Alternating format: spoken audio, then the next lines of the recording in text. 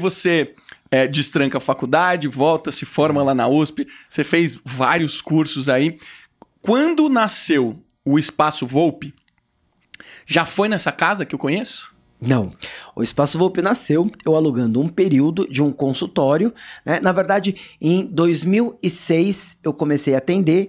Eu estava no final da nutrologia e já comecei a atender em consultório. Em 2007 eu dei o nome de Espaço Volpe, por isso que ele nasceu em 2007. Eu já tá. atendia na nutrologia desde 2006. Então, assim que eu terminei a faculdade, ah, eu estava um pouco perdido do que eu queria fazer e na época eu cheguei a pensar em endocrinologia, só que a endocrinologia ela trata muito doenças. E o que eu sempre quis fazer na vida era tornar o ser humano melhor, prevenir as doenças e tornar o ser humano melhor, melhorar as performances humanas.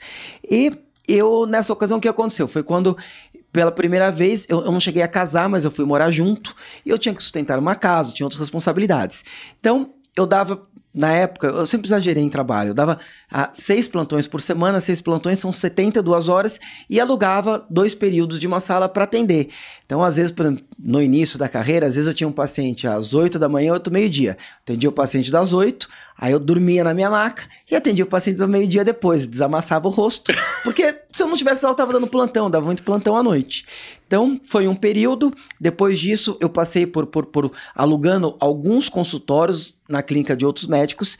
Em 2011, eu montei minha primeira clínica na Vila Olímpia, que tinha 140 metros quadrados. Tem duas coisas que eu lembro dessa abertura. A primeira delas foi que eu não tinha noção nenhuma de empreendedorismo. Ah, eu contratei uma, primeira gerente, eu lembro que na época ah, ela tinha pedido 3 mil do salário e eu coloquei lá na minha planilha de custo, 3 mil. Eu não sabia o que era CLT, eu não sabia que aquilo era quase 6 mil de custo. Eu tomei um susto a primeira vez que eu vi isso. Eu lembro muito disso, de eu sentando e pensando, eu tinha contratado não só essa gerente, mas todos os funcionários da minha primeira clínica, e eu olhando lá falando, cara, minha folha é o dobro do que eu achei Por que, que, que aumentou tanto, né? Exatamente. E a segunda coisa que eu lembro é que em 2011 ela tinha 140 metros quadrados. Eu pensei, nossa, essa clínica é grande para mim, nossa, só eu atendo. E em 2013, dois anos depois, eu tive que mudar para a unidade atual, que é uma clínica de 600 metros quadrados. É uma é. casa maravilhosa, num dos bairros, na, aliás, numa das ruas mais importantes de medicina, né? Qual, qual que é o bairro ali? É Jardim Paulista, Rua Groenlândia. Rua Groenlândia, que é um lugar maravilhoso, né? Ali, a casa maravilhosa também. É.